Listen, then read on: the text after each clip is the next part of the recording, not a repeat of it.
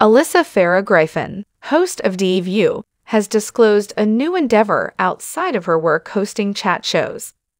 The 34 year old invited followers to accompany her as she steps into the position of event moderator. Alyssa announced on Instagram on Friday that she will be attending an in person event later this month. She will discuss her new book, Enough, with former White House assistant Cassidy Hutchinson. The 92nd Street Y in New York City will host the event on October 30. If you're in NYC, I hope you'll join me and my amazing friend and NY Times best-selling author at Cass underscore Hutchinson at hashtag 92NY150 to discuss her book and experience as a senior White House advisor. Alyssa wrote as the caption for her Instagram image. Commenters praised the View presenter and offered their support for her new position. Alyssa was informed by a fan, I'm sure you both will do great. I wish we were going to be there. Another person commented, You are a woman of inspiration. I appreciate you keeping it honest.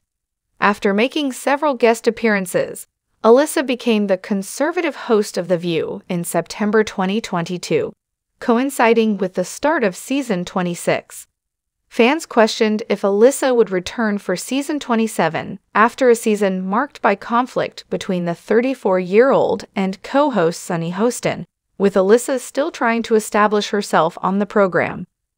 It was announced in August that Alyssa and the other hosts would be returning for a second season, which debuted in September.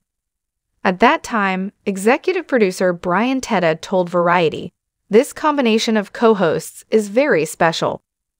They are having fun at the table, but they are also talking about important issues, responding quickly to breaking news, and having difficult conversations, he continued.